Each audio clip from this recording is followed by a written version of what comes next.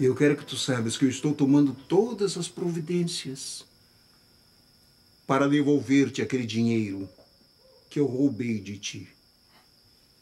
Então confessa. Eu sabia que tinha sido você. É que eu sou assim mesmo, muito desonesto. E depois não dizem que no amor e na guerra tudo é válido, pois então. Mas isso não serve mais para nada, Boris. Nós estamos isolados do mundo. Esse dinheiro aqui não tem mais valor nenhum.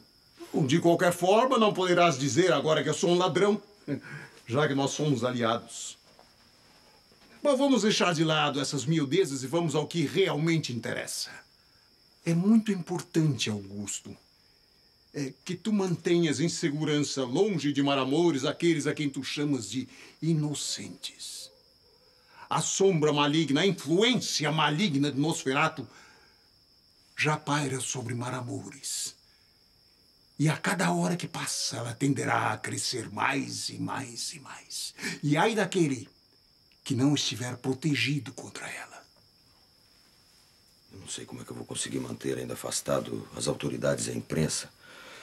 Até porque essas pessoas que fugiram devem estar espalhando por aí que foram retiradas às pressas.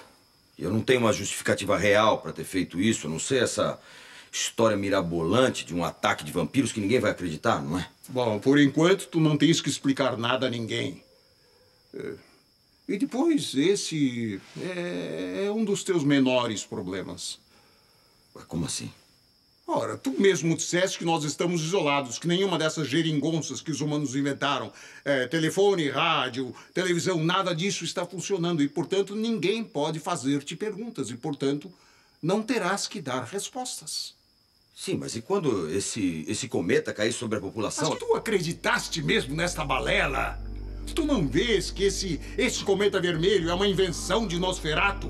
Uma criação genial, mas tudo rigorosamente falso.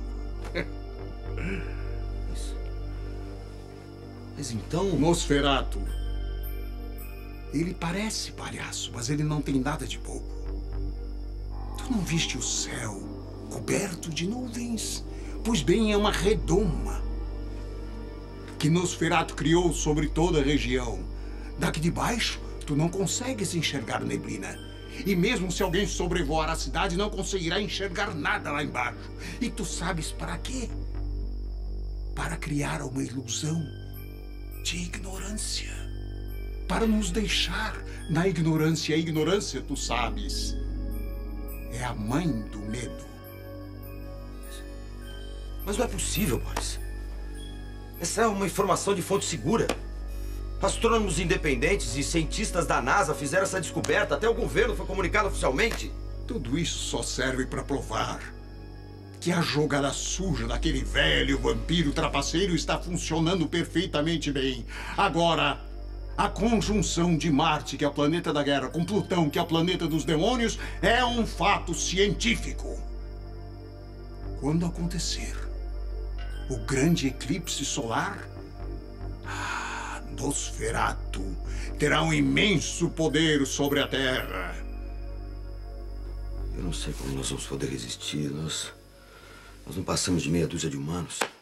Bom, se o guardião Ezequiel achou que vós poderíeis combater, é porque tendes alguma coisa dentro de si. E é muito importante que seja assim, porque na hora do confronto final, quando vós combaterdes Nosferato, tereis que vencer, sem contar com a ajuda de ninguém.